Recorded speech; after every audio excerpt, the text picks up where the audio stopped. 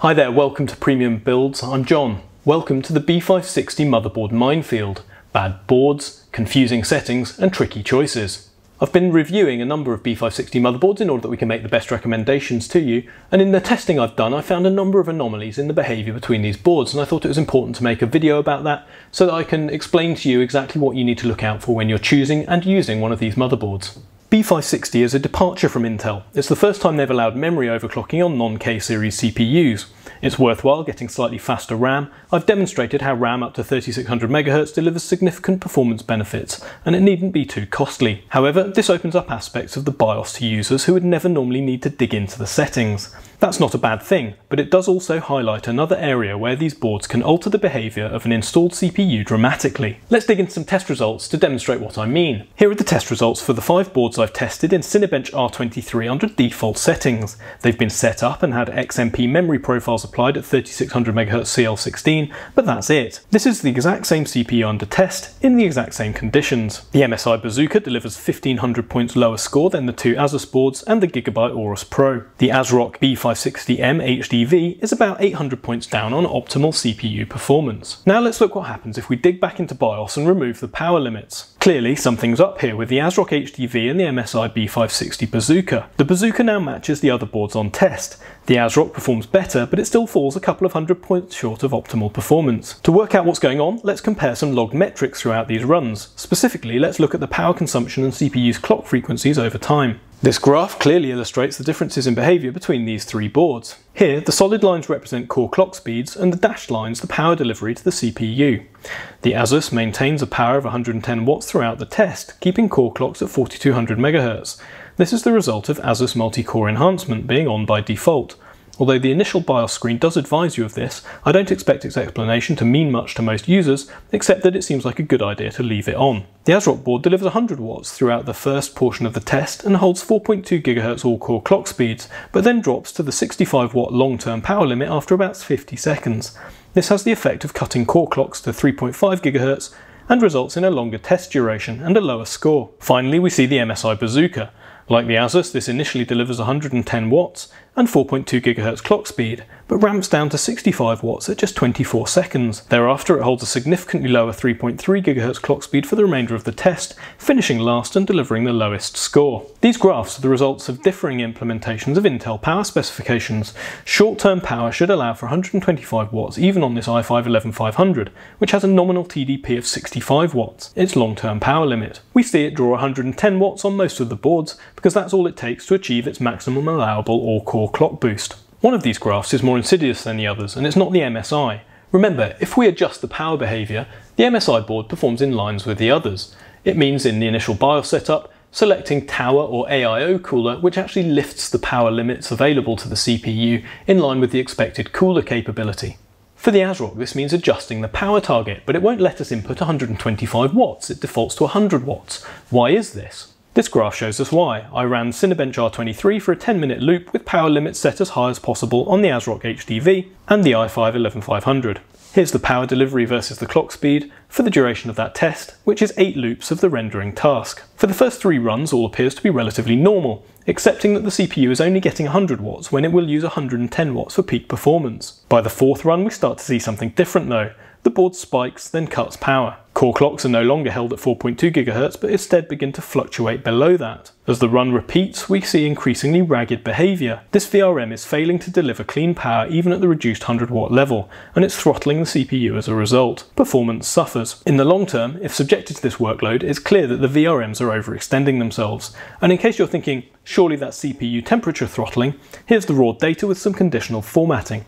No core exceeds 60 degrees C throughout this test, and no core records thermal throttling at any point. So this is the behaviour with an i5 CPU, a 65 watt TDP part. What happens if you put a more power hungry CPU into these boards? To test this, we tried the i9 11900K on each of these boards using the unlimited power settings to see what they were capable of. For comparison, we've got the result this CPU gives you on the Asus ROG Maximus 13 Z590, a motherboard with VRM so overkill you could run your house off of it. This chip will use 250 watts in this test if you overclock it, but in this situation the maximum it will draw with default settings not overclocked is 170 to 180 watts. Here we can see the consequences of weaker VRMs. Both the MSI and ASRock HDV, the two cheapest boards in this test, deliver substantially subpar results. The Gigabyte and two Asus boards both achieve full performance for this demanding CPU, nearly matching the Z590 score at default behaviour. Again, looking at the metrics, we can see how the power delivery behaviour of these boards has a dramatic impact on performance. The Gigabyte and two Asus boards are the only ones that deliver sufficient power to reach a 4.7 GHz all-core speed at 170 watts consumption. They maintain this for the duration of the test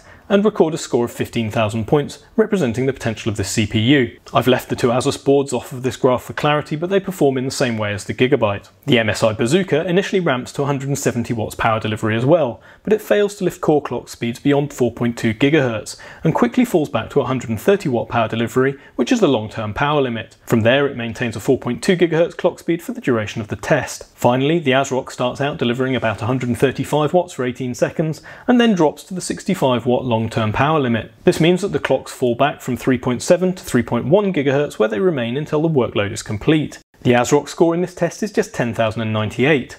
And as a reminder, that's below the score the 6-core i5-11500 can post in this test, given adequate power. Simply put, the CPU can only do much work as you supply power for. The ASRock limits that power enough to make the i9-11900K perform the same as an i5-11500 in an all-core workload. If you don't increase the power limits in BIOS, it'll even make the i5-11500 dramatically underperform. If you lift those power limits and subject the CPU to demanding but entirely reasonable workloads, the VRM can't keep up with an i5 CPU. To see if this had any real world impact on gaming, I ran my standard suite of tests with an RTX 3060 Ti and to see if there was any appreciable impact in performance by a CPU throttle limit being reached. I didn't actually see that in any of the gaming tests. Likelihood is if you used one of these boards, even the ASRock HDV, you would game on it and not notice a significant performance impact. However, I couldn't guarantee that long term. If you were to find a game that did impose a significant load on the CPU, there's every chance that after a period of time you could trip into that long-term power limit and you'd find that CPU clocks got cut and that would give you a commensurate drop in gaming performance. I expect that we'll see some people troubleshooting things like that, particularly on pre-built systems with weak VRMs on the motherboard and an i5-11400.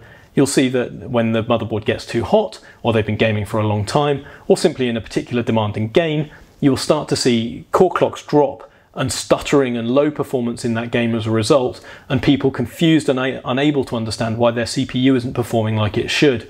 This will be the reason, undoubtedly, in some cases. Secondly, you've got to consider the impact in all-core workloads. If you buy one of these motherboards expecting it to perform well with an i7-11700 for like a powerful office workstation, a photo editing build, something of that nature, you may well find that if you've got a board with inadequate VRMs, it's not going to perform as you expect in those tasks, particularly if you start doing long-term rendering tasks. Remember, there's nothing unusual about leaving a CPU to render out a complex project, and it might run for many hours or even days doing that, and you would expect and need a CPU to perform at its potential to get those tasks completed in a reasonable time frame. If you've got a motherboard that overheats and can't deliver adequate power, then you either take much longer rendering the projects you want to do, or you may run into instability and thermal shutdown of that board, which will mean that you have to throw the task away, start again, um, and that's incredibly frustrating when all you want to do is get your work completed. So what are my conclusions and what's the root cause of this? Fundamentally, you have to blame Intel at the basic level. Their dogged adherence to the 14 nanometer process, although it has been refined, um, the backporting of these chips, the Rocket Lake chips from 10 nanometers to 14 nanometers, means that they're substantially more power hungry than they need to be. You've got 65 watt CPUs here. Any normal user would look at that and say, well, it needs 65 watts to perform, but in fact it demands near double that for a perfectly reasonable all-core workload. Remember, none of the Ryzen Zen 3 CPUs need more than 125 watts, not even the 16-core 5950X. Here we've got a 6-core part that needs 110 watts to perform optimal levels, all-core, and when you look at the 8-core 11900K, that'll pull 180 watts just to perform a simple all-core rendering workload. Then there's the confusion around power limits. These CPUs quote boost clocks that are only achievable if you deliver sufficient power and cool them sufficiently. Intel's power specifications quote maximum power delivery and time periods, but there don't appear to be any consequences for not adhering to them, breaking them, or simply not achieving them.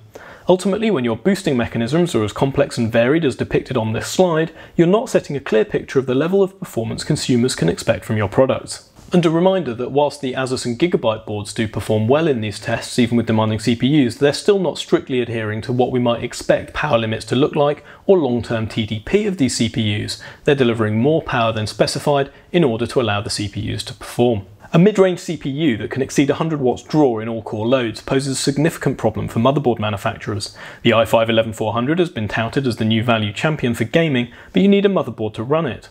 It's sold as a 65 watt TDP, but that's not an accurate representation of its power demands at full load. So motherboard manufacturers want to cater to a value conscious market, but need to make a board that can potentially be fitted with any CPU from an i3 up to an i9-11900K, or more realistically perhaps an i7-11700.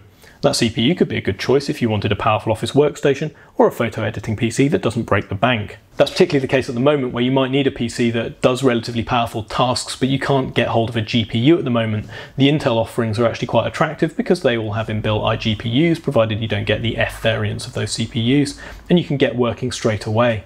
ASRock have abjectly failed to meet the mark with the HDV. It throttles an i5-11500 at base settings.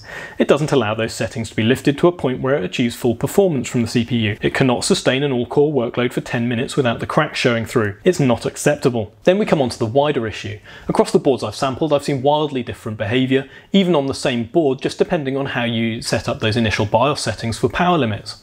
Credit goes to Gigabyte and Asus for manufacturing boards that can achieve full potential even of demanding CPUs, but they're not actually adhering to the Intel spec either, by allowing power limits that exceed specifications and durations that also run longer than those specifications. Some of these boards allow you to set your own power limit to achieve your desired result, but I don't think it's right to push that onus onto consumers on motherboards that are aimed squarely at the mainstream.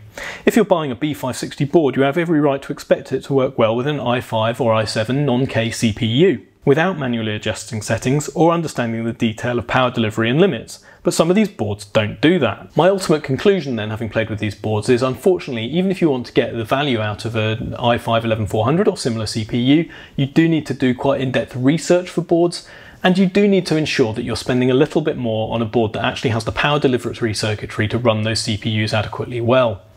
You can check out my companion video to this where I go through these boards in a little bit more detail, look at their features and performance, and make some recommendations based off of it. Please also do check out premiumbuilds.com. I've got companion articles to these videos which take you through my recommendations, and we've got loads of build advice, tips, and build guides to help you get the absolute most out of your money when you're building your next PC.